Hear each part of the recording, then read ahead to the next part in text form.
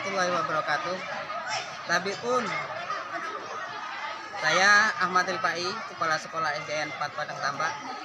Pada hari ini SDN 4 Padang Tambak melaksanakan vaksin untuk anak usia 6 sampai 11 tahun dan alhamdulillah pada hari ini diikuti oleh 132 anak dan insya Allah uh, untuk anak-anak mudah-mudahan diberikan kesehatan sehingga mereka dapat melaksanakan pembelajaran tatap muka 100%. Itu saja yang dapat saya sampaikan.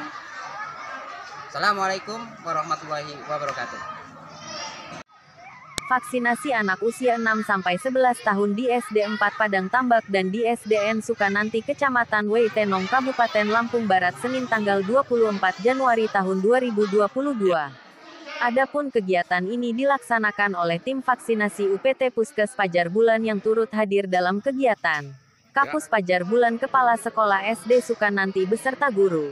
Juga kegiatan yang di SDN 4 Pajar Bulan dihadiri kepala sekolah guru serta siswa yang akan divaksinasi dan juga dikawal oleh orang tua wali murid.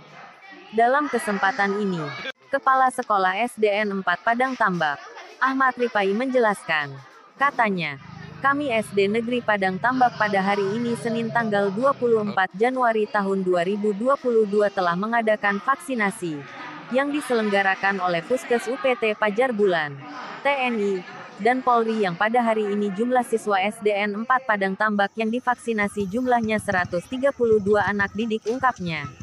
Dan dalam kegiatan yang sama, petugas vaksinasi dari UPT Puskes Pajar Bulan di SD Sukananti menjelaskan pada hari ini kita melaksanakan vaksinasi anak di SD Sukananti dengan jumlah 86 dosis.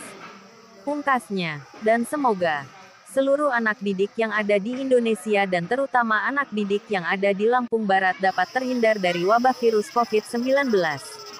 Suhartato, Jamin Ginting melaporkan dari SDN 4 Padang Tambak, SDN Sukananti Kecamatan Weitenong Kabupaten Lampung Barat. warahmatullahi wabarakatuh. Tapi pun kami dari tim vaksinasi UPT Puskesmas Fajar Bulan telah melaksanakan vaksinasi di SDN 2 Sukananti, Sido Makmur. Demikianlah, terima kasih.